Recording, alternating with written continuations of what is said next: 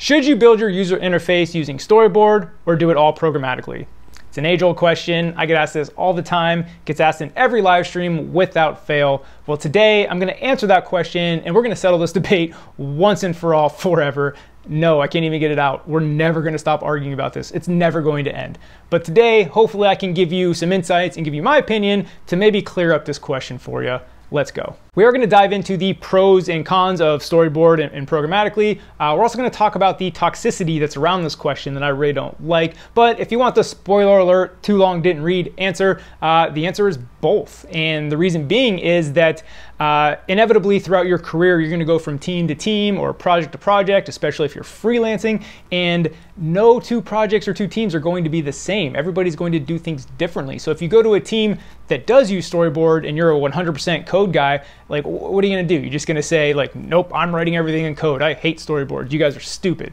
Like, no, you're not going to do that. Or, or as a contractor, like I, I contracted uh, for the past year and a half up until recently, and I was on probably eight or nine projects, and everyone was different. You're going to bounce from project to project. And sure, there are going to be some that you, you build from scratch and you're going to get to do it your way. However, a lot of the times you're going to be jumping into an existing code base. You're going to maybe build a certain feature or, or do some bug fixing or, or some other stuff. But the point is, it's all going to be different. So having that versatility of knowing how to do things well in code and how to do things well using storyboard is going to benefit you in your career in the long run. You're going to be able to jump into any code base and just dive right in and start contributing right away. Now let's take a step back and talk about the toxicity around this question that like I really don't like. And I just don't like that elitist attitude of, I, I do it in code and storyboards are stupid. If you use storyboards, you're not a real developer. Or if you use storyboards, you're lazy or, or you're a noob. I've heard all these. I've seen it in the comments. It's, it's just ridiculous. Like it is perfectly fine to say, I like to do my UI programmatically and I think it is the much better option. Cool no need to just blanketly bash all other developers that don't do it your way. Like that's just, that looks bad on you in my opinion. Anytime someone comes at this with like that type of argument, I'm like, okay, you're that type of person and I just move on. But I do see where that stereotype and that connotation comes from. And that's because most people just learning iOS development is they start off using storyboards and yeah, they are noobs and that's not a knock on them. It's just you're, you're brand new, you're just starting. So I see where that, that attitude comes from. I just, I don't agree with it. Um, but but I actually think storyboards are a great way to introduce new people into development because the reality is learning how to code and learning how to build apps, it, it's hard. So I think if you just throw learning everything about building apps and then you throw the programmatic UI on top of it, that just might be a hurdle like too high for some people and people will quit. So I look at storyboards as easing new people in, like all the, the UI stuff that kind of gets you know, it's magic with storyboards, right? You don't fully understand what's going on. You just drag and drop the button. There it is, right? It's, it's magic.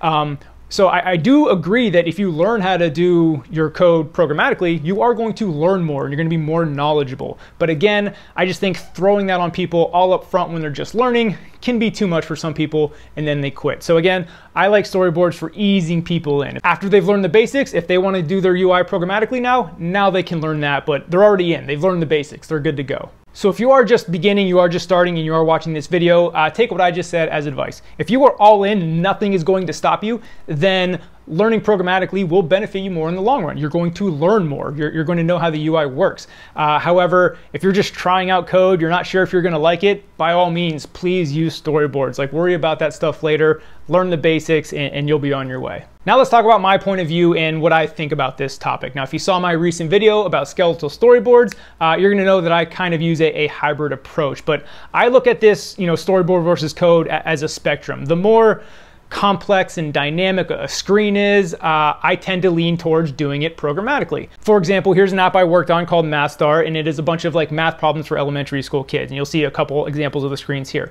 Basically, there was over 200 different question variants, if you will. Now, I'm not going to sit there and build 200 screens in Storyboard for the different UI. Like, that was just ridiculous. So this is a perfect example of where doing something in code was clearly the better choice. However, the other end of that spectrum, which most screens probably are, is they're pretty static, pretty simple, maybe it's just a basic table view. I prefer to do those in Storyboard, and the reason being is I don't like a lot of clutter in my code because I want I'm big on readability. I want somebody to be able to look at my code, read it, and know exactly what's going on. So I don't like clutter in my code. Again, this is all personal preference. Take, you can disagree with me, that's fine. Uh, but I like doing the basic simple UI uh, in Storyboard because that's not cluttering on my code. All that auto layout code, uh, all the UI initialization, that's not in code, that's just all on Storyboard. So again, that's the spectrum. Super complex dynamic, I lean towards code. And then you know, super simple. I do it in storyboard. And then most of the time I land on that skeletal uh, storyboard approach that you see uh, in this video. So again, my take on the classic storyboard versus code question is you need to do both Versatility as a programmer is going to do nothing but benefit you. You just can't be locked into one way of doing it. It's probably not going to work out for you. Uh, but again, I want to see your thoughts in the comments. Now, uh, I think it's wishful thinking to think this is going to be a civil discussion, but I'm hoping viewers watching this can hear my opinion and then read some thoughtful, insightful comments on why certain developers prefer code and their, their logical reasoning and constructive criticism of the other side, and why you like to do storyboard, and here's why I like to do this. Uh, I hope this is a very informative comment section, that's my hope, fingers crossed, uh, on this topic. So anyway, if you like what I'm doing here on my channel, I put out new videos about iOS development all the time. I do Swift news every Monday, so consider subscribing. See you next time.